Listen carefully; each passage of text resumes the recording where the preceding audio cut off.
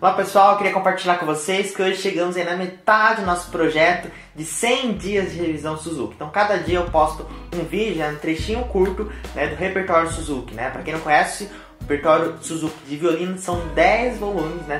bem gradual, assim, que vai desde Chocolate Quente, o Brilha Estrelinha, até os concertos de Mozart. Então cada dia eu tô postando um trecho, né, de cada música e aí vou postar todas as músicas, tá? Para o pessoal conhecer, né, saber quais músicas tem, né, nos nos repertórios, Suzuki de violino. Quem quiser também pode pesquisar a música, ouvir ela inteira. E eu gostaria de falar com vocês essa persistência, né? No estudo do violino é a mesma coisa, né? Não adianta se estudar uma semana e agora tô tranquilo. Não, né? Dia após dia até desenvolver esse músculo realmente, né? Da repetição, do dia a dia, né? Estudando.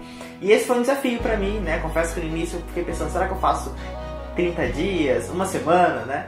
Mas deu certo também já na metade, né? E hoje realmente virou um hábito essa questão de gravação para os 100 dias de revisão.